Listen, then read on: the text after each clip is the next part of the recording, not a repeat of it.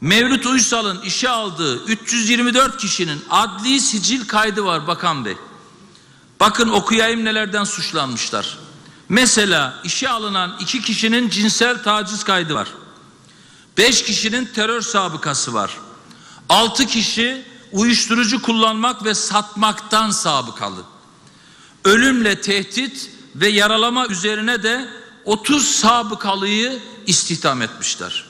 3. Gelelim en can alıcı noktaya. O dönem arşiv araştırması istemek yasak olmadığı halde bu halde dahi işe giren 30 bin kişiden 10.858'i için arşiv araştırması istenmemiş. Yani toplam işe alınan personelin üçte birinden arşiv araştırması talep edilmemiş. Bunu ben yapsam neler olurdu varın siz düşünün.